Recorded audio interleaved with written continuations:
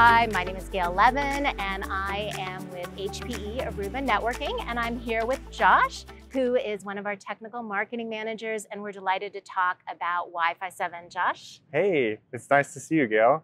Uh, so yeah, I'm Josh. Uh, I'm focused here on Wi-Fi uh, here with HPE Aruba Networking.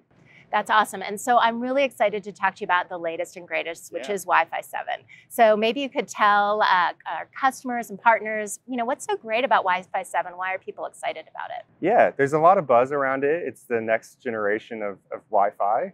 Uh, it's got some new things to enhance reliability, to increase speeds, and to help with the user experience uh, that we all crave with our, you know, in this day and age, when we have such increasingly demands on the wireless. Yeah, what I really like about it is it takes what we did with Wi-Fi 6E around the six gigahertz band and just makes it even better, more reliable, and also, um, you know, uh, more efficient. So I think that's really great. Now I know that um, you have uh, you brought me a Wi-Fi 7 AP to share with everybody, and uh, maybe you could tell us a little bit about this and how it goes beyond the standard. Yeah, so this is the AP 735.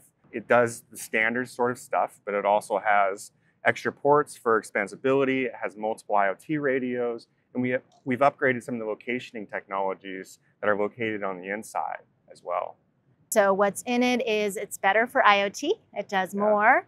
Um, you also mentioned it does better locationing, so sub one meter, which is very cool. I heard about, and then also um, I've heard about something called ultra triband, which this also has in it. Can you tell me a little bit about yeah, that? it does. So it's just a filtering technology that helps us have more flexible use of the spectrum when we have radios that are close together. It also, with with the six gigahertz, we have some flexible channel stuff as well that are new in Wi-Fi 7 with Flex Radio, which is really cool for meeting those capacity designs.